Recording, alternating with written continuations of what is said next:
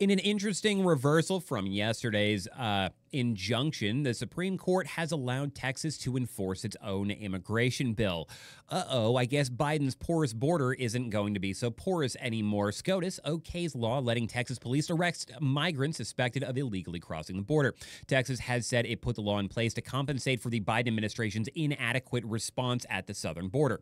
And this is correct.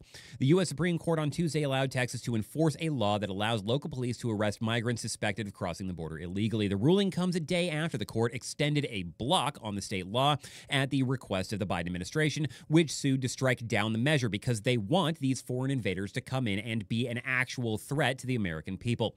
The Biden administration argued that the law known as Senate Bill 4 would usurp core federal authority on immigration. Well, if the federal government was actually using that authority to enforce the actual laws, this wouldn't be a problem. But every single person in the federal government is a traitor to America, and they're importing soldiers from foreign countries, probably to fight against American citizens. Of course, they don't want to enforce a law that would basically remove their power to destroy the country. Texas Attorney General Ken Paxton has said the state's law mirrored federal law and was put in place to compensate for the Biden administration's inadequate response at the southern border, which is 100% true.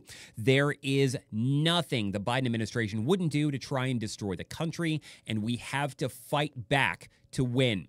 Let me know you think about this in the comments. Then head over to my locals page, thearthurnix.locals.com, where you can support me for as little as $3 a month, and you'll get exclusive content you won't find anywhere else. Till next time, thanks for watching.